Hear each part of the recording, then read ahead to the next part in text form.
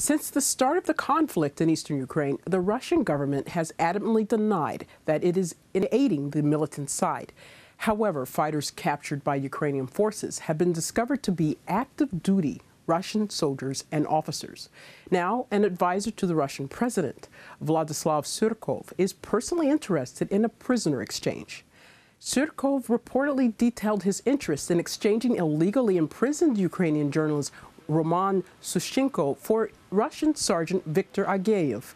This is according to, to Sushchenko's lawyer, Mark Feygin.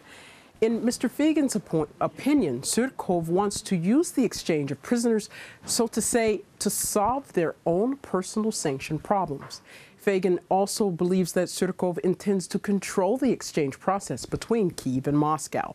The Russian FSB detained Ukrinform correspondent Roman Sushchenko in September 2016. He is allegedly accused of espionage, and they consider him an agent of Ukrainian intelligence.